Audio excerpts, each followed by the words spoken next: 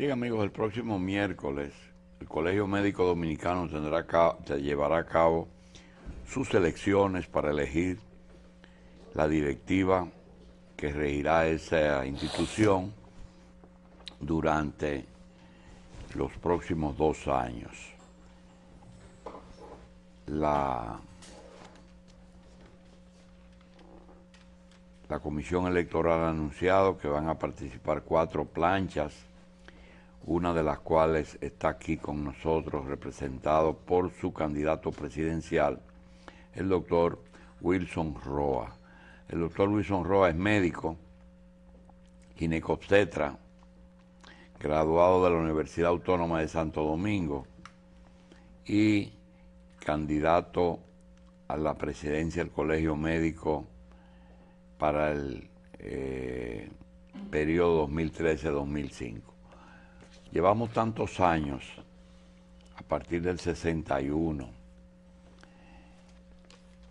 eh, celebrando elecciones en el colegio médico, primero en la asociación médica, ahora en el colegio, ya convertido en colegio, que estamos acostumbrados a los programas de gobierno de todas las planchas que participan. En esta oportunidad van cuatro planchas.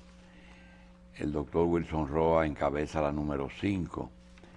Y si usted revisa los programas de gobierno, no de esas cuatro planchas, sino de todas las planchas que han participado en el colegio, va a encontrar una gran cantidad de repeticiones, de ofertas y conquistas que aspiran los, los médicos y siempre repetimos lo mismo. Vamos mejor a darle la bienvenida al doctor Roa y que nos cuente, independientemente de las 10 o 12 puntos programático, ¿cuál es el punto más importante que el doctor Roa le gustaría que dentro de dos años de ganar las elecciones, dejarle como legado a que eso lo hicimos la plancha número 5 del 2012, del 2013 al 2015? Muchas gracias por darme la oportunidad de dirigirme a la población y a los médicos dominicanos más que un punto en, particular, nosotros tenemos dos ejes fundamentales. Uno público, frente a la situación deplorable, crítica, en que vive la situación del sector salud del Estado, y el otro punto es la situación de los recursos humanos. Mientras tenemos 12 años que fue promulgada la ley de seguridad social, la situación de los hospitales hoy, 12 años después, está mucho más difícil la situación de los hospitales que antes de la promulgación de la ley, paradójicamente. Y la situación de los médicos dominicanos es aún peor. Primero, un clima de inseguridad en el ejercicio de la medicina en los hospitales públicos.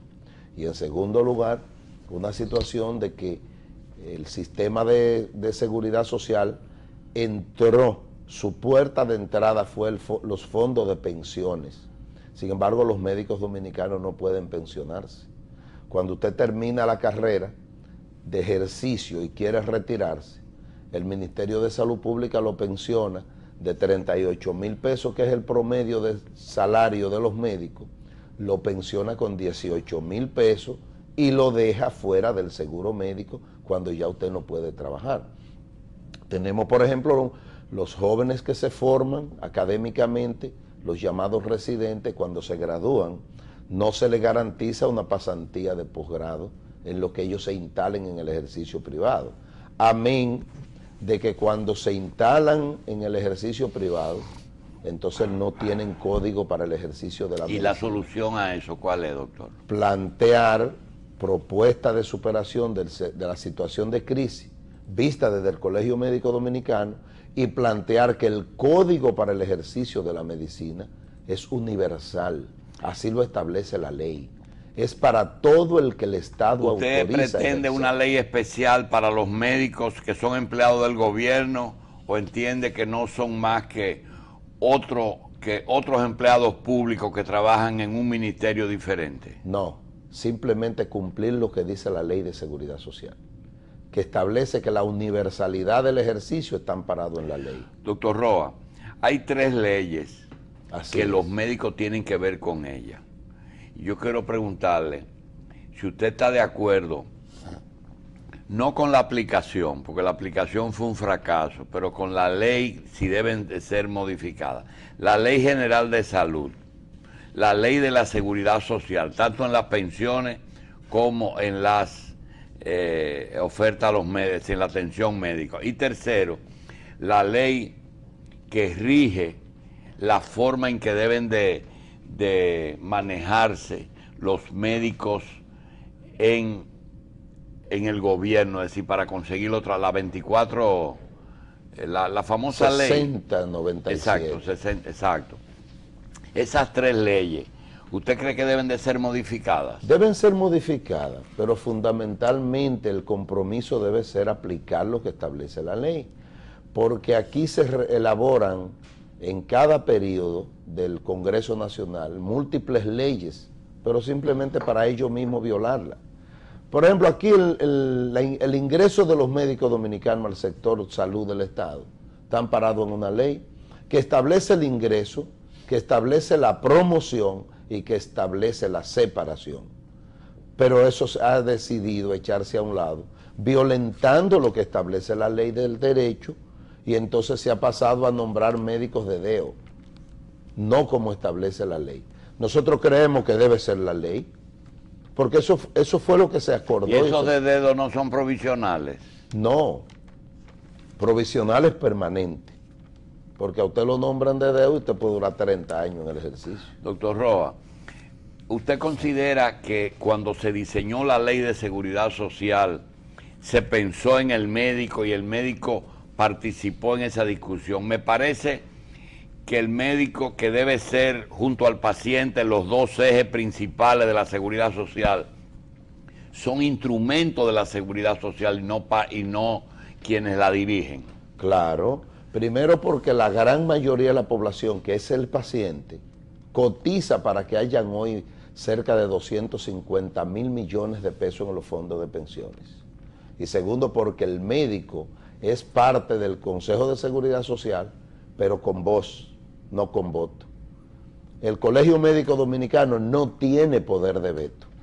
En conclusión, va y opina, pero no más de ahí. Doctor, Educación logró un presupuesto de un 4% del Producto Bruto Interno Así es. para atender los estudiantes que desde que tienen 5 o 6 años que entran a la escuela hasta que se gradúen de bachilleres, aproximadamente, digamos, unos 13 años de la vida de una persona. Así es. Sin embargo, el paciente que atiende, hay que darle servicio de salud desde que nace hasta que muere, no tienen el presupuesto porque el gobierno, el Estado, las leyes han decidido que sea la seguridad social la que se encargue de eso y no el Estado, porque si usted ve cómo se maneja la seguridad social, tiene casi un 20% de los ingresos de, de una persona y ese 20% es que tiene que cubrirlo todo y el médico no tiene incidencia en ese dinero. Bueno, lo que pasa es que con el, en el caso de los profesores, el 4% fue destinado a la educación, pero no incluye los profesores. Lo mismo pasa en el sector salud. Pero es que lo principal en la educación no es el profesor, ni en salud es el médico, es el paciente y es el estudiante. debe ser el paciente y debe ser el médico. Sin paciente y sin médico no hay seguridad social. Entonces, si usted quiere hacer una ley para desarrollarla y tener efectividad, usted tiene que incluir los actores No, fundamentales. yo lo digo porque yo entiendo que si usted hace un edificio, el arquitecto no es el, el actor principal, es el que lo va a vivir. Así es. Y eso mismo pasa con la medicina. A veces hemos manejado la, la- la salud como si el médico fuera el centro de la, de- de- de la creación y es el paciente. Ok, y si usted no tuviera el médico, o es una parte del mecanismo, pero no es el sol del, universo. No, no lo es, pero es uno de los ejes a tomar en cuenta. Si usted quiere efectividad, dele satisfacción al cliente interno primero, al usuario interno primero. La sociedad médica, doctor, se encargó de enseñarle al país. Nosotros creíamos que el médico era un ser que tenía un pedazo de Dios y que nos tocaba todos los días. Sin embargo, la Asociación Médica nos enseñó que el médico es un obrero de la salud. ¿eh? Así es. Y nos dijo, nosotros lo que vendemos es salud y punto. Y empezaban a discutir salarios como si el Estado fuera la única fuente de ingresos de un médico de por vida. Y esa es una etapa que el médico le dedica al Estado, sin embargo es un medio de vida del médico dominicano. Bueno, lo que pasa es que el sector público es una vía, es uno de, los, de las herramientas de vida del quien da el servicio, porque la otra es la privada y la otra, en la privada el médico tampoco participa en las decisiones, ni participa en la pública tampoco. usted estaría de acuerdo, por ejemplo, que el, hospital eh, Padre Villini, que es especializado ahora mismo, tiene mucha nefrología y mucho, mucha diálisis, se le entregue a un grupo de nefrólogos y de cirujanos trasplantistas y que manejen eso, como por ejemplo se maneja la Plaza de la Salud, que el Estado invirtió y es un centro casi privado. No, no, la Plaza de la Salud es privada. Entonces, porque hay un, hay un nuevo modelo don Julio, y es que el financiamiento público para administración privada de centros de salud es el nuevo modelo que se ha ido implementando. Ahora yo le pregunto, ¿por qué los hospitales del Estado, los de carácter público, todos están de manera deplorable y no tienen la subvención mensual a tiempo. Y a los de financiamiento privado se le da tiempo y se le da mucho. Yo no quisiera decirle que yo estoy de parte suya, ¿eh? pero yo le quiero preguntar. En la de Fello Cabral, altura de la universidad, hay tres centros médicos especializados en cáncer. Yo quiero que usted me diga qué sentido tiene que tienen tres sistemas diferentes de administrar salud. Uno es totalmente privado. Uno es el Heriberto Peter, que es una institución sin eh, fines de lucro. Sin fines de lucro y que ha llenado su papel durante todo el tiempo. Y algo nuevo que todavía es la hora que no sabemos de lo que, que es, que es una cosa que hizo el gobierno, que ni es de la universidad, ni es de salud, ni lo han abierto, porque en una cuadra hay tres instituciones de cáncer y no sé, con los mismos médicos que cambian de, de, lugar, porque aquí lo que hay son 50 oncólogos y trabajan en esos tres centros. Doctor, eso mismo está pasando ahí en la, en la, en cerca del Seguro Social, en la Plaza de la Salud. Usted tiene el Hospital de la Plaza de la Salud, tiene el Sedimat ahí adentro. Tiene el Gotier un poquito más para allá. Doctor, todos los sistemas de salud de aquí son diferentes. Cada hospital tiene un régimen diferente. ¿Usted sabe por qué? No. Yo le digo. ¿Qué hace la, vicepresidenta de la República construyendo, haciendo construcciones? Son política. ¿Qué hace la supervisora haciendo construcciones? ¿Qué hace obra pública haciendo construcciones? Eso es parte del desorden que mantiene el Estado en el sector salud. Si hay una ley que establece la regulación del sector, ¿por qué no se aplica? Y le corresponde al Ministerio de Salud Pública, en términos de lo que establece la ley, regular el sector. Pero es lo, es lo único pero que le han el gobierno está pensando, dejarle el papel regulador a salud más nada. Así es y que, y que todo el mundo baile la, la, música que quiera. Pero, don Julio, la, el, la CESPAS no regula el sector salud. El sector salud está segmentado de tal manera que hay colonias. ¿Cuántos tipos de hospitales tiene la CESPA? Dos, dos tipos. ¿Cómo son? Los, los, hospitales de carácter público y unos de carácter privado que no lo administra ella, pero que dice que le corresponde su, regulación y que son financiados por el Estado. Pero sin embargo son privados. Pero los mismos hospitales de los estados tienen dos sistemas de administración. Sí, pero la subvención que le debe dar el Estado, usted ha visto cómo... Usted, por ejemplo, tiene un caso de que maternidad recibe 5 millones mensuales, sin embargo el Marcelino Vélez recibe 30. Así es. Yo no me lo explico. Así es. Y es privado el Marcelino. Casi privado. Es privado, pongámosle nombre. sin embargo, Maternidad Altagracia es el segundo hospital latinoamericano que maneja volumen. Oiga bien, ¿eh? Y lo que le dan son tres centavos. Maternidad tiene 72 nacimientos promedio diario.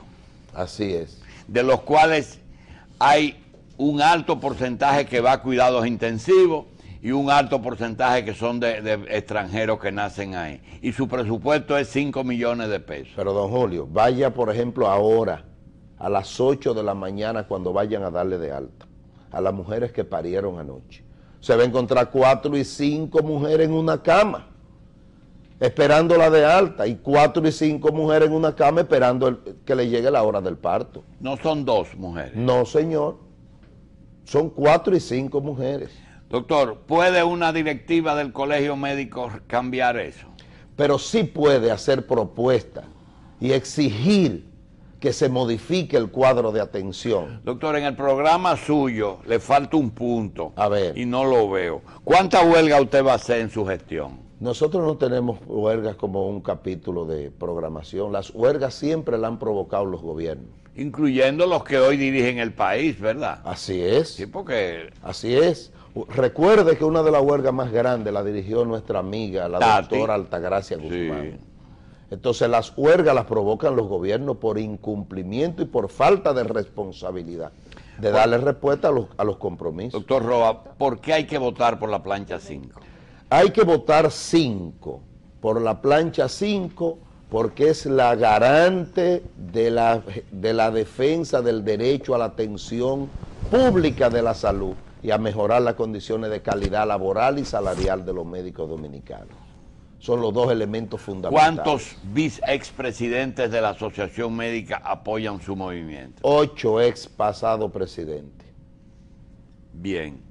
Doctor, el día miércoles, ¿a qué hora y dónde? A partir de las 9 de la mañana hasta las 6 de la tarde, todos los médicos dominicanos en los hospitales y centros de salud donde la Comisión Electoral ha decidido establecer urnas de votación.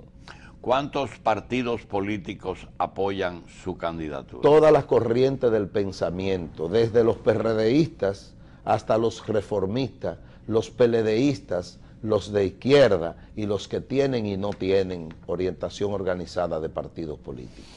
Doctor Wilson Roa, gracias y mucha suerte el próximo miércoles cuando se lleve a cabo la elección, el del presidente y la directiva de el Colegio Médico Dominicano. Muy- El grupo se llama Gran Bloque Unitario, Gran Consenso Gremial.